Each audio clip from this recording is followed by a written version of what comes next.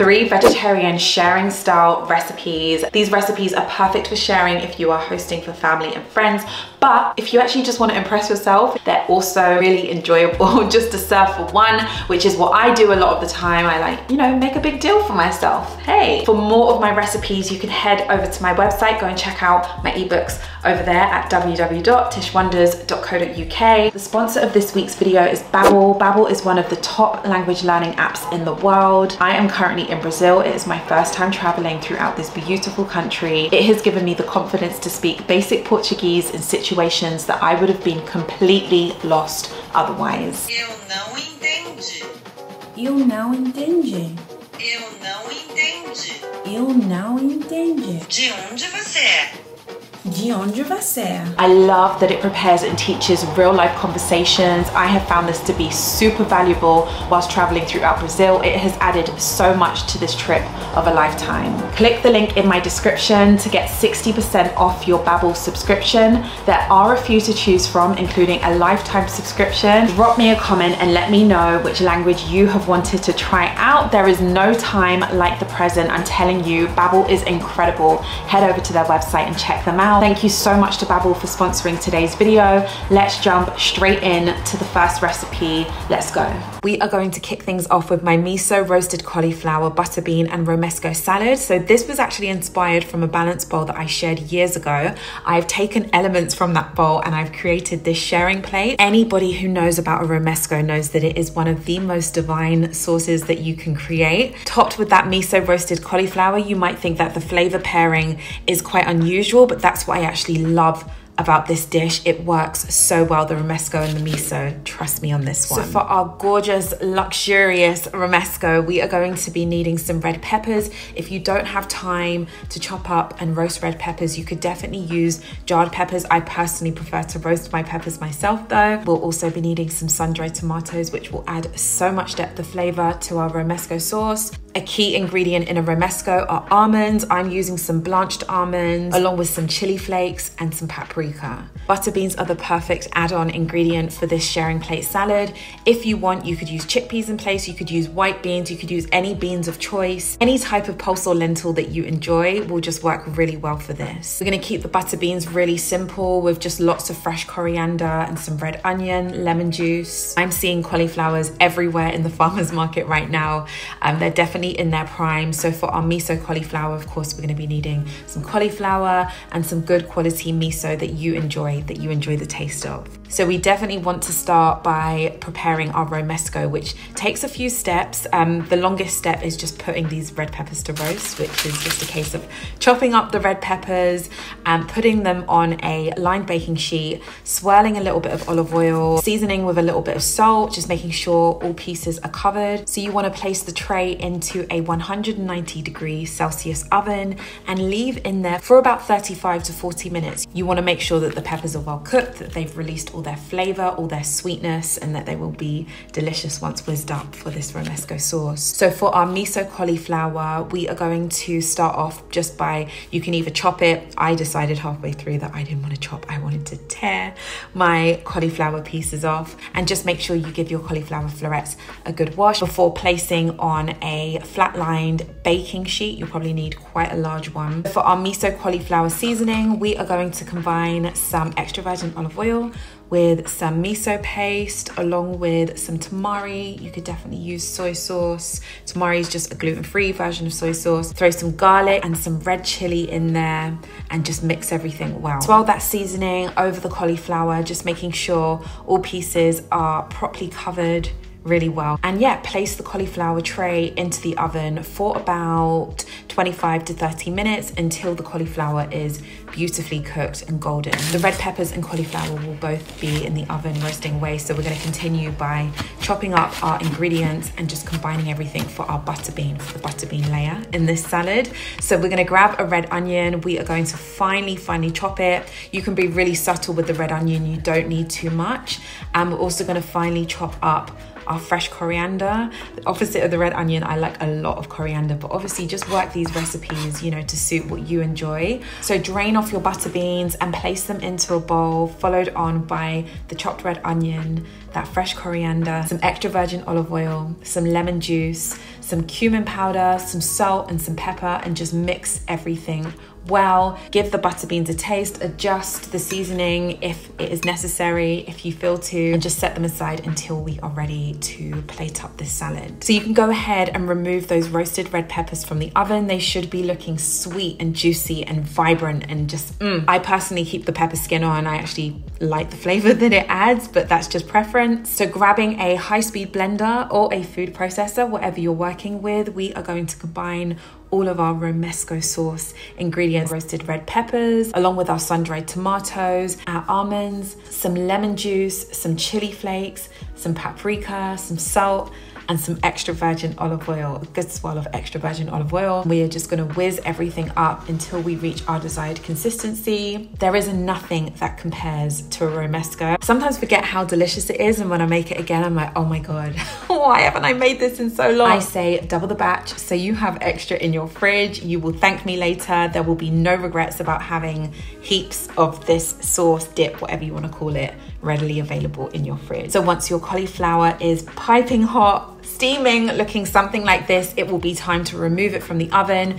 And all that is left to do is to plate up this gorgeous, gorgeous salad. So we are going to grab that smooth romesco, just swirl it on a plate, place on those butter beans along with that cauliflower. I topped mine with some fresh parsley, some extra chili, a drizzle of olive oil, and oh my goodness. I say that these are sharing plates, but I could honestly eat the whole thing. If you're looking to add a vibrant dish, a standout dish to a dinner table, something that everybody will love guaranteed, this one is for you. This whipped basil ricotta, smashed lemon and herb potato salad will have you on the edge of your seat. I am warning you, this one is so damn good. So for our whipped basil ricotta, we are going to combine some ricotta cheese along with some Greek yogurt and we are going to be using tons of fresh basil. I always say fresh basil is my feel good herb. Just the smell of fresh basil just does something for me. If you're not a fan of basil, dill in place would work really well. And actually, it would work really well with the smashed potatoes. Any green herb that you enjoy, this whipped ricotta will be incredible. So for our smashed lemon and herb potatoes, I'm using some baby potatoes. You can use any variety that you have on hand. We'll also be needing some lemons. We will use the juice for the whipped basil ricotta and we'll use the zest for the smashed lemon and herb potatoes. To garnish this dish, I made some quick pickled red onions and I also placed on top some chives. To begin with, I actually chopped up my baby potatoes, which I've never done when I've made smashed potatoes, by the way. So I don't know why I decided to do it this time, but I would 100% definitely just keep them whole.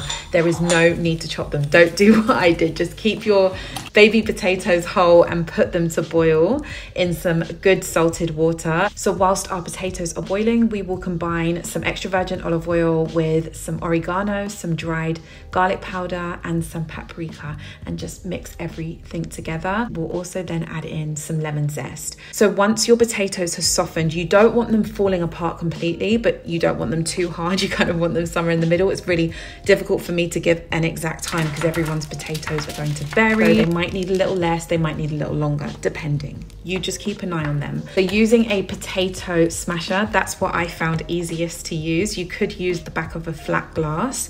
I just smashed my potatoes. I drizzled over all of that herb and lemon seasoning, just making sure the potatoes were covered well. I roasted these for quite a long time. I'd say I left them in there for about 50 minutes. Depending on how crispy you want them, you can just play it by ear, keep an eye on them, make sure that they don't burn. So whilst our potatoes are cooking, we can put together our whipped basil ricotta, which is very, very simple. We're just gonna grab a food processor and we're gonna place in our ricotta, our Greek yogurt, fresh garlic, some basil, lemon juice, and some salt. And we're just gonna whiz everything up until we have this gorgeous looking green whipped ricotta, which will pair with so many dishes, perfect as a side on a balanced bowl, or if you want to combine it with your breakfast, maybe spread some on some sourdough some scrambled eggs, it will be beautiful. To top this sharing plate, I thought let me just quickly pickle some red onions, but the quick way, not the proper way, the quick way with ingredients that I had on hand. So I thinly sliced up some red onions and I combined them with some apple cider vinegar, some sugar and some salt. Very simple. I just set them aside until it was time to serve. So once the potatoes have fully crisped up to your liking, you can go ahead and remove them from the oven. The only thing left to do is to put this sharing plate together, this heavenly sharing plate. So we're gonna grab that whipped basil ricotta. We're gonna place on top those smashed lemon and herb potatoes, followed on by some quick pickled red onions if you choose to prepare them. And I also chopped up some chives and just put those on top absolutely gorgeous. When you serve this one up, there won't be a crumb left. I'm telling you, this one will be gone, devoured, enjoyed by anyone and everyone who tries it.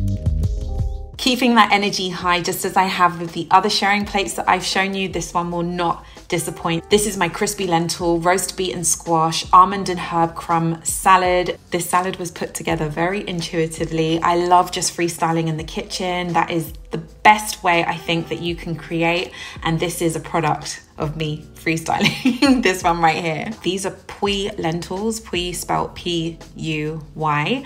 Um, you could use beluga lentils if you'd prefer, or if you have chickpeas, they will work as well. You could crisp them up in the same way that I'm gonna crisp these lentils up. You could do it in the oven, but I'm gonna show you how I just like to quickly do it in a pan. Really, really simple. Beetroot has been calling me recently. I kind of go through phases of just really having like this deep connection with it. And right now I'm just in one of those moods.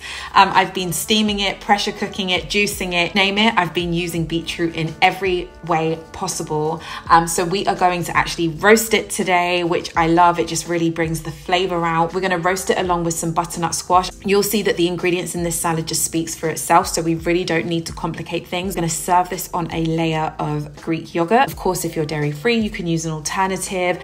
And for that almond and herb crumb, just a really random creation that I did, I had these flaked almonds. You're gonna see how I combine these with herbs. It's delicious. Like all of the other sharing plates that I've shared, we are going to be needing lots of lemon and we are also going to be chopping up lots of fresh parsley. You can use any green herb of your choice in place if you don't have parsley. So to begin with, we are going to chop up our vegetables to put to roast. So for me, that included peeling and chopping up the butternut squash. You could definitely leave the skin on the butternut squash if you want to. Again, you can leave the skin on the beetroot if you want to. I actually chopped the beetroot a little bit thinner than the butternut squash because I find that beetroot takes a little bit longer. So just so they cook in the same amount of time. Um, yeah, I chose to go smaller, a little bit smaller with the beetroot. And also a note about beetroot, do not worry about it staining your hands. I find that it washes off really, really easily. So yeah, don't worry about having purple fingers for a second, it will be fine. so follow through by placing the chopped beetroot onto the lined baking sheet and uh, drizzle with some olive oil. We're gonna use lots of fresh roasting herbs. So I've got some rosemary and some thyme.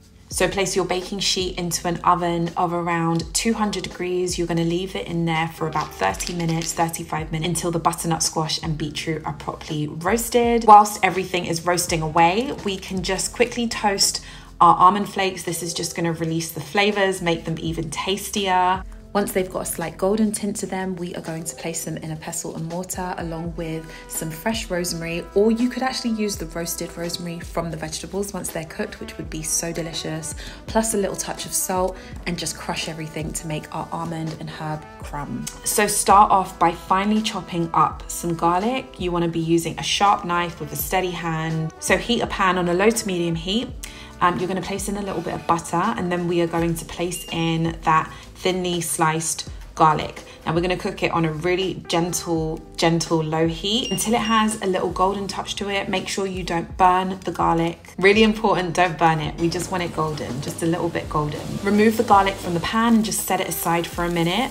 Place in your lentils and season with some salt, some herb de Provence. You can even give it a little swirl of olive oil if necessary um, in that pan. You'll see that the lentils will get this crispy kind of texture. That's when we want to throw that golden garlic back in along with lots of lemon zest. Just continue to stir everything, combine everything, let those flavors run through those lentils and let the lentils just get even crispier. The crispier, the better. I'm choosing to do this in a pan, um, but just a note, you could definitely crisp lentils up in the oven if you don't want to do them in the pan like I did.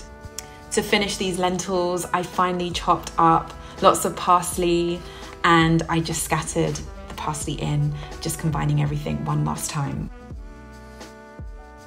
So remove that tray of roasted vegetables, that butternut squash and that beetroot. So to serve up the sharing plate, let's add a thick layer of Greek yogurt to start with, topped with those roasted vegetables, that butternut squash and beetroot. Then we are going to scatter on top those crispy lentils with that crispy garlic and top with that herb and almond crumb. Drizzle a little bit of olive oil, give it some more parsley if you want to, and just enjoy. Again, I just love the fusion of flavor and texture with this sharing plate. The simplicity of this dish, yet the intricate layers and flavors and textures that just work really amazingly together. I am so confident that when you try out these sharing plates, you will cook from a place of love. You will feel the love running through the food. And I just hope that these ideas just bring so much joy to your life, enjoying foods with the people that you love. Just a word that you can definitely enjoy these sharing plates if you're just cooking for one. Treat yourself yourself, treat yourself well, pour into yourself as you would do for others. Let me know in the comments what you think of these ideas. Let me know if you would like to see more. For more of my recipes, you can head over to my website, go and check out all of my recipe ebooks over there. I will see you all in my next video soon. Everyone take care. Bye.